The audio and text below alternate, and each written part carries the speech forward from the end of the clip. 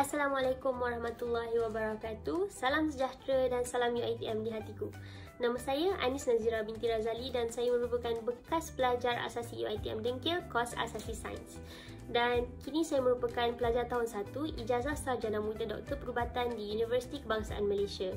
Okey, jadi di sini saya ingin berkongsikan um, pengalaman saya ketika apply degree waktu asasi dulu. Kita boleh apply untuk uh, degree melalui UPU selepas uh, mendapat keputusan SEM 2 nanti. Tapi sekiranya korang nak apply untuk kos-kos yang memerlukan interview, uh, dia akan menggunakan result SEM 1 korang lah, SEM 1 UPU.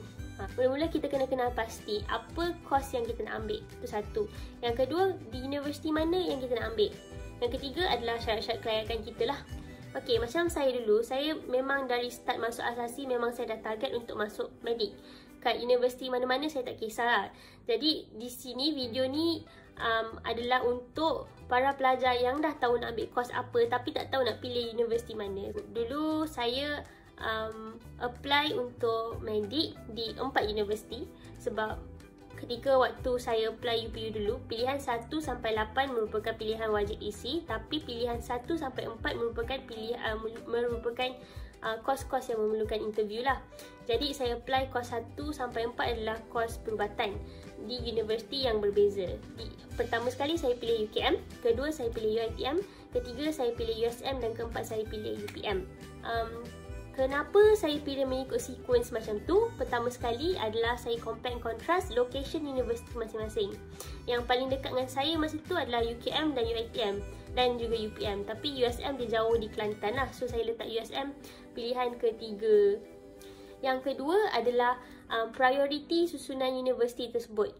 Okey, disebabkan susunan universiti saya adalah seperti yang saya sebutkan tadi, saya telah mendapat panggilan untuk interview untuk tiga universiti sebab saya letak UPM adalah pilihan keempat.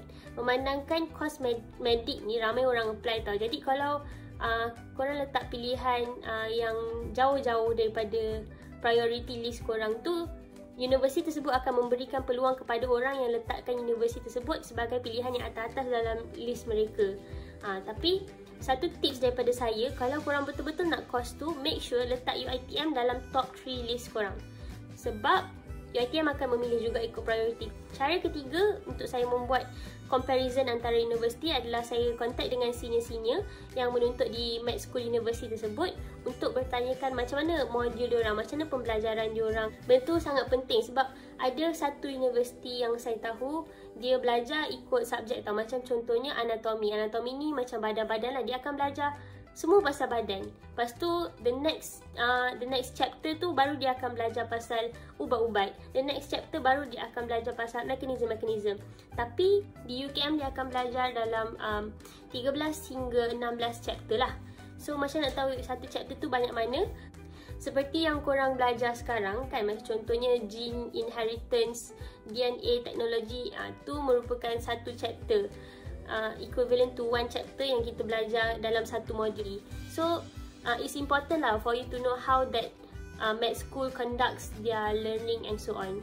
Okay, so kalau misalnya kat dalam UPU list tu dah ada universiti-universiti mana yang kurang layak untuk uh, apply. So, insyaAllah that's one step closer for you to get the university. Tapi, jangan terlalu overconfident tau. Waktu dapat panggilan untuk UPU tu study betul-betul try baca blogspot-blogspot tentang experience um, interview. Lepas tu cuba approach senior-senior tanya apa jawapan yang boleh bagi sekiranya dapat soalan macam ni macam ni. Buat as if interview tu korang interview betul-betul depan-depan sebab masa saya interview kita orang semua conduct online. Dan dia bukan ikut cara biasa, dia ikut cara lain. Buat betul-betul satu, bagi jawapan yang betul-betul sincere and it sounds professional and legit and it sounds impressive lah untuk the interviewer tu dengar. Lepas tu yang ketiga is kalau boleh hantar awal datang on time apa uh, your appearance tu make it look like you very you want that course very much sebab ramai tau yang apply macam batch saya dulu uh, ada around 1080 yang dapat untuk interview tapi yang dapat masuk UKM cuma 100 40 lebih je. Ah, dia akan pilih dia akan tapis semua video, video-video interview, cara korang cakap uh, yang hantar video interview lambat ke cepat. Uh, so apa-apa pun the most important thing is for you to know your the course that you want. Lepas tu approach senior-senior di university untuk mendapatkan lebih banyak um, impression untuk dapatkan lebih banyak information on that university and that course supaya korang boleh macam compare and contrast lah antara university perform elok-elok. Kalau dapat interview make sure korang memang betul-betul minat dalam bidang tu. And then doa banyak-banyak insyaAllah everything will be fine. All the best good luck and semoga semua dapat pilihan pertama masing-masing